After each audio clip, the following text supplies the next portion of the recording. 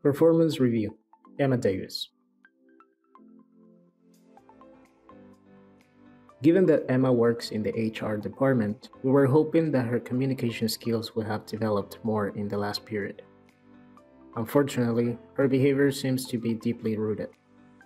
Calling one of her colleagues bone idle is typical of her cutthroat approach. Fortunately, the colleague in question is broad minded and accepted an apology. Despite taking part in several training opportunities, Emma continues to take a narrow minded approach to her work and relationship with coworkers. Which two personality traits are used to describe Emma's approach in relationships at work?